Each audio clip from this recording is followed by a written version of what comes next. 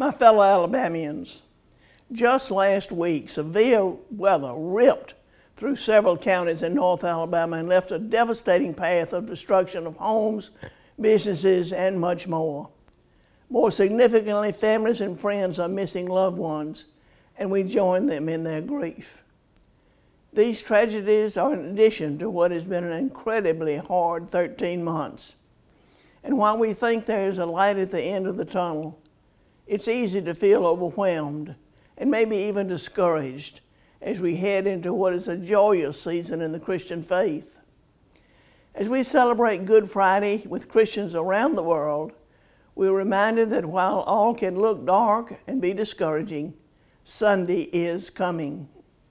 Scripture reminds us that while in this world there will be trouble, we can take heart, for He has overcome the world. Friends, Jesus' death on the cross and His resurrection reminds us of the hope that we can find in Him.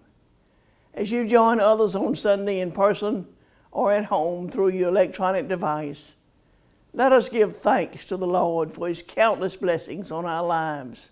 Remember, He has risen. May God continue to bless each of you and the great state of Alabama.